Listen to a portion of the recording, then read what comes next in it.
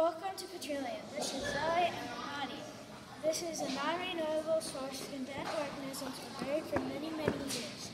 After study is complete to decide that oil is below a drill, to, it is used to pump oil out of the ground. Then it is put into a pipe or tankers to be transported to refinery.